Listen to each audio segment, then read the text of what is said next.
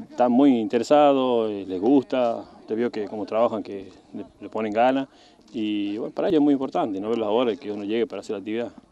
Este, estamos trabajando bastante, vamos de a poco porque hay gente que no ha hecho nunca actividad, hay gente que está metida con vicios y qué sé yo, y bueno, esto de a poco lo va como lavando la cabeza para que vean las cosas de otra manera.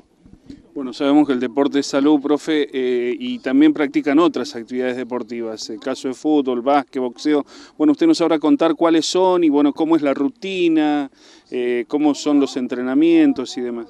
Sí, eh, acá nosotros la parte de deporte y recreación tenemos taller de boxeo, básquet, taller de bocha para los adultos, que está en la canchita ahí, y el taller este de rugby. Eh, están distribuidos durante la semana, tienen actividad de lunes a, de lunes a viernes, digamos. Este, con los talleres están distribuidos de tal manera que todos los días haya un taller para los diferentes grupos de internos. ¿Quién lo dicta a las distintas disciplinas? Eh, somos, bueno, en este caso el oficial Córdoba, que está con la gente de Católica Radio y que yo le colaboro con la parte física. Y en los otros talleres estamos, estoy yo como profe y otro profe Zárate, Leo Zárate, que también está a cargo de boxeo, y yo a cargo del taller de bocha y de básquet. ¿Cuál es la respuesta de los internos en las diferentes disciplinas deportivas?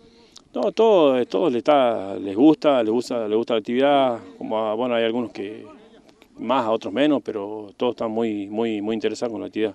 Anotó, que, un poco que en el rugby un poco se rompieron un poco los esquemas, porque sabiendo que el básquet, el fútbol, el, boxeo es un deporte más practicado aquí en Catamarca.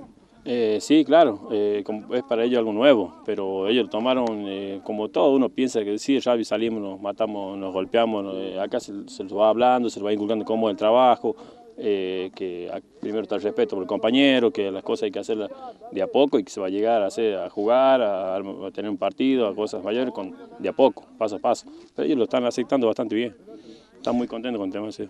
¿Cómo es la experiencia en lo personal de, trabajar con los internos, sabiendo que, bueno, por ahí estar un poco privado de la libertad es como que se plantean las cosas de, de otra manera y el trabajo también tiene que ser un tanto diferente?